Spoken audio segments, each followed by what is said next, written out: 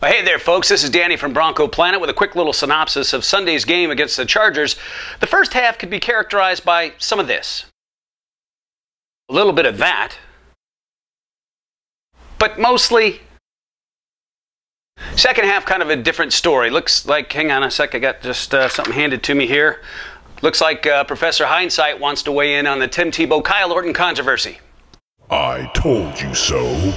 That is the wonderful thing about hindsight. Everybody's got it, and it always shows up when it's most convenient.